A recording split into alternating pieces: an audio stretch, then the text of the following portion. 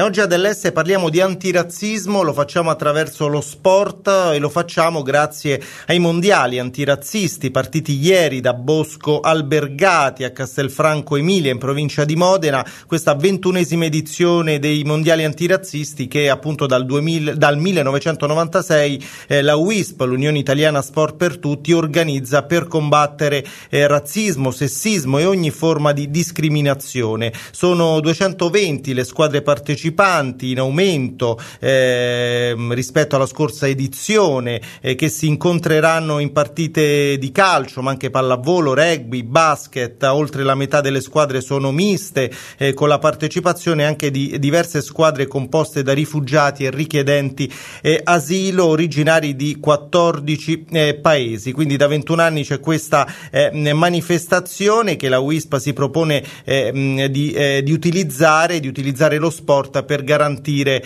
eh, i diritti di tutti, una visione possiamo dirlo alternativa rispetto anche allo sport tradizionale perché al centro ci deve essere il gioco ma in modo che diventi uno strumento per costruire appunto coesione sociale, per creare unione, per trovare come dire occasione anche di eh, scambio reciproco. Questo poi è particolarmente importante in questo momento storico, in questo contesto che stiamo vivendo in cui le istituzioni nazionali ed europee, lo stiamo vedendo anche in questi giorni nel vertice eh, di Tallinn, fanno ancora troppo poco per accoglienza dei migranti e dei rifugiati. Ma noi andiamo subito a Castelfranco Emilia dove eh, c'è per noi Ivano Maiorella che è il direttore del giornale Radio Sociale che saluto. Ciao Ivano, buongiorno. Ciao Stefano, ciao a tutti gli ascoltatori di Radio Articolo 1. Allora Ivano, so che vicino a te c'è anche un ospite, quindi introducici un po' la, la, la giornata, il clima, il clima, l'atmosfera. Eh, l'abbiamo detto, ieri è partito ufficialmente intorno alle 16, no? un calcio d'inizio che è stato dato anche simbolicamente da Ilaria Cucchi, sorella di Stefano, sappiamo in prima linea per il rispetto eh, dei diritti, dei detenuti in particolare.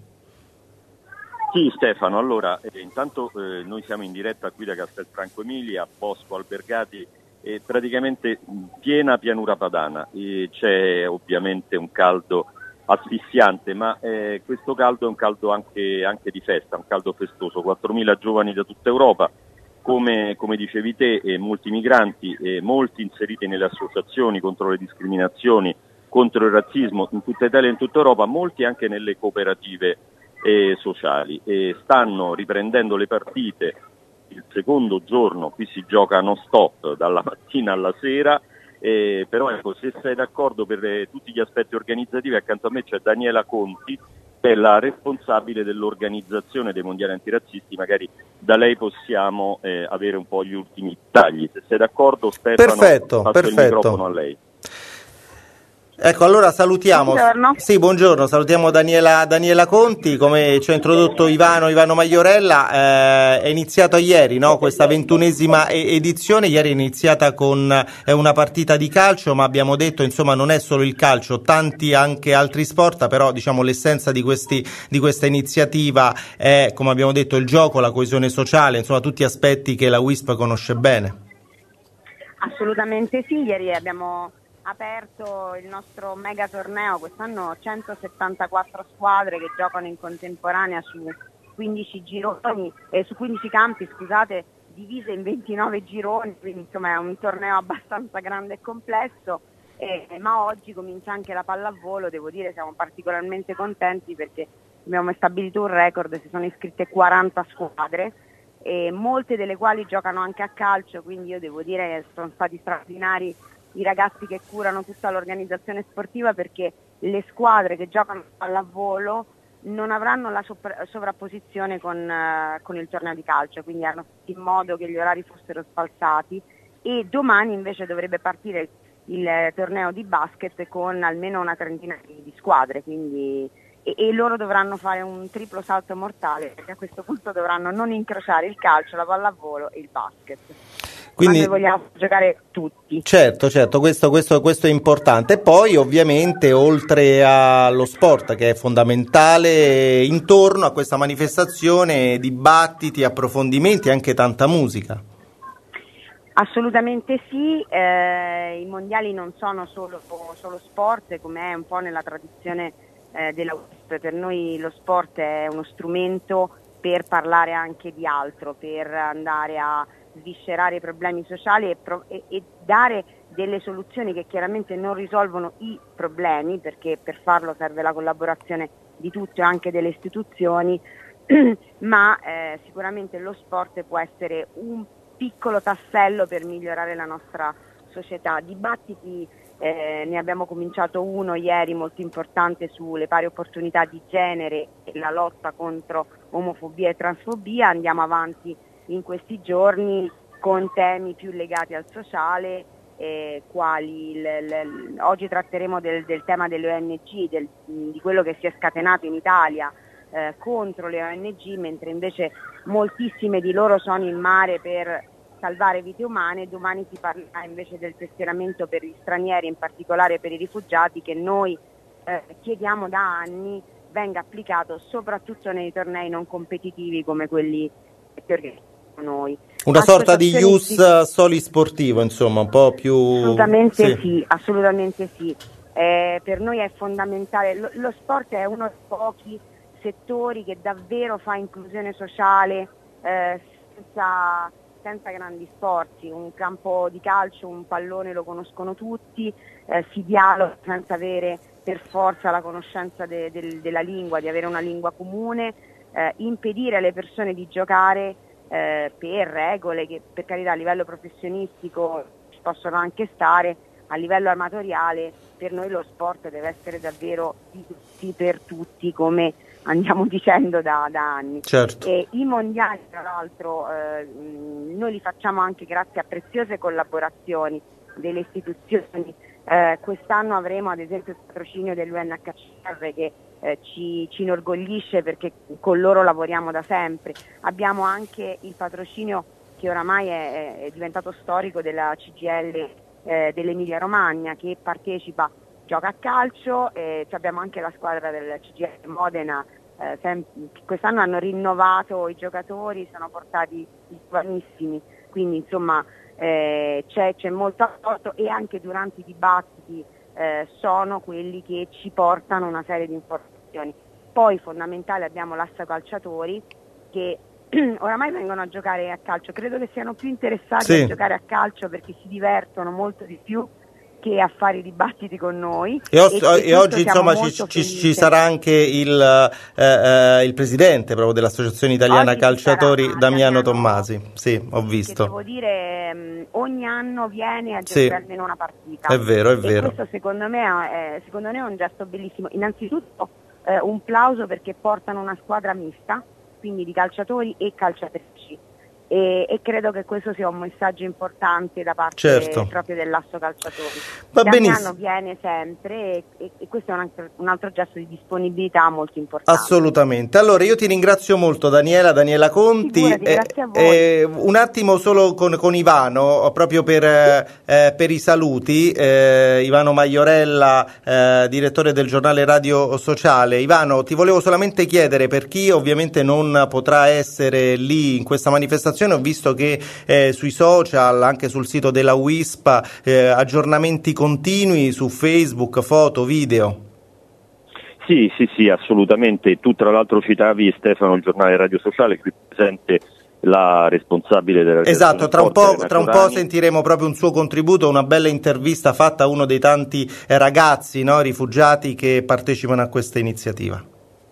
Sì, esatto, e poi c'è il contributo, devo dire, di eh, parecchi eh, media, social, eh, anche, anche, anche, radio locali e, e, viene proprio testimoniata una, una cosa che noi diciamo da, da, tanto tempo, da quando è nato il giornale Radio Sociale, ovvero cinque anni fa, la radio arriva dappertutto, un po' come, come l'acqua, eh, si infila nelle fratture sociali e, e, dà, come in questo momento stiamo facendo, l'idea in diretta, l'impressione, l'emozione di quello che sta eh, avvenendo.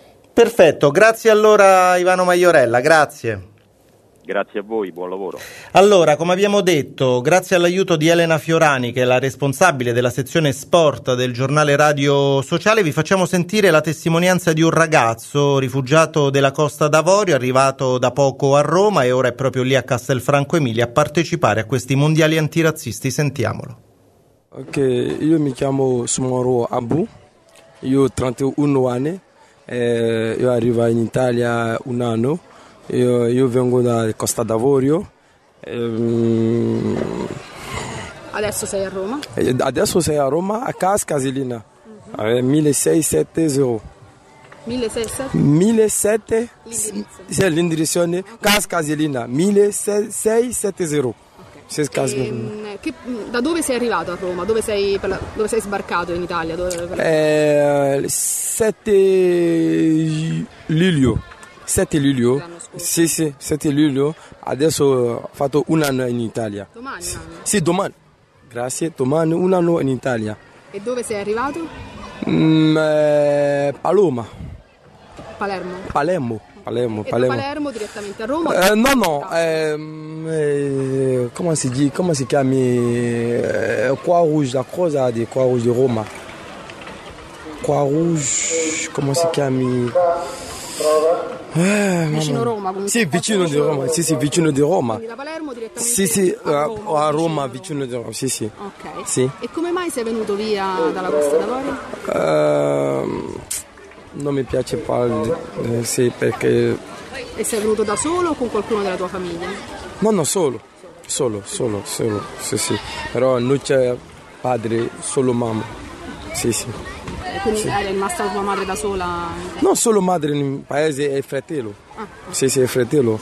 È una sorella. Sì, sì. E invece adesso a Roma cosa fai?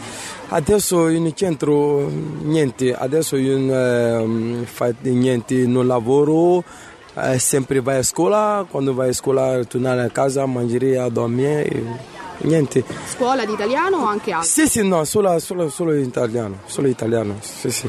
E com'è l'organizzazione secondo Sì, l'organizzazione è, è, bene, è bene, ah, sì, sì, è bene, eh, va bene.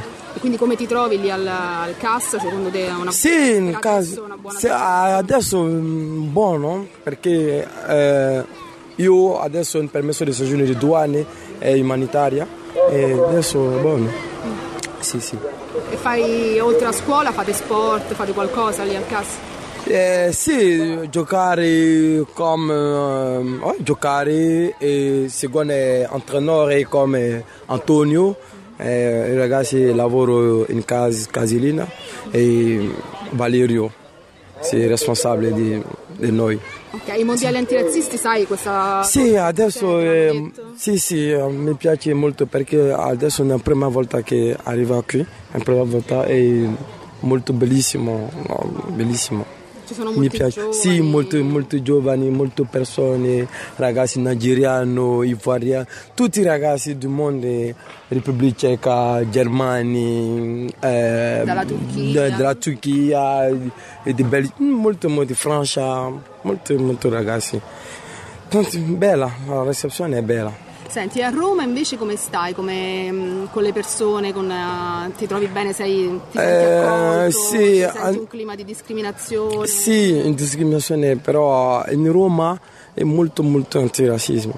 Sì, molto, molto, molto antirazzismo. Quindi Sì. la senti? Sì, la senti senti. un clima di... Sì, sì, le- senti, molto, molto di razzismo.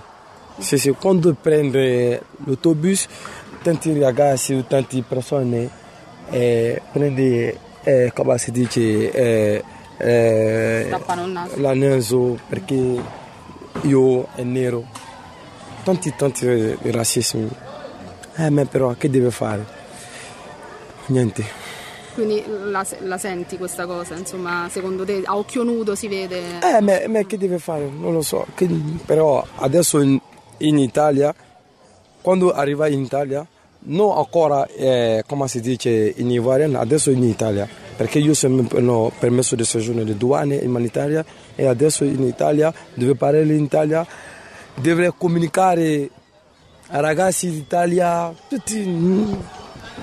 Eh, difficile, ma piano piano arriva. E quando invece sei arrivato a Palermo, eh, la prima accoglienza come come è stata? Ha funzionato? Ti hanno fatto, non so, aspettare tanto tempo in un centro? Eh, Paloma o a Palermo? a Palermo. A Palermo? La, la prima volta proprio quando sei arrivato? Eh, molto molto contenti, molto Contento? cont- contenti perché, perché io arrivato in Italia non ho problemi perché tante tante persone è morto al mettere in terreno. Eh, quando è arrivato a Palermo molto contenti. Sì. E le persone che ti hanno accolto sono state brave? Sì, bravi, occupato eh, vestiti, scappi. Bene, sì sì, bene. E questa era la testimonianza raccolta da Elena Fiorani, che ringraziamo, del giornale Radio Sociale e questo rifugiato della Costa d'Avorio. Ma per raccontarci un po' meglio lo spirito dei mondiali antirazzisti abbiamo chiesto aiuto al presidente nazionale di WISP, Vincenzo Manco. Questa è la sua risposta. I mondiali antirazzisti sono di fatto da 21 anni un ottimo esempio, una, un'ottima pratica dal basso per eh, far vedere non soltanto al sistema sportivo di quali possono essere le regole del gioco per permettere a tutti appunto di, di, di, fare sport, perché ai mondiali antirassisti non si fa solo calcio, si fa anche pallavolo, basket, rugby, chukball, ma soprattutto per inviare un messaggio al mondo, trattandosi appunto di mondiali, che la convivenza è possibile.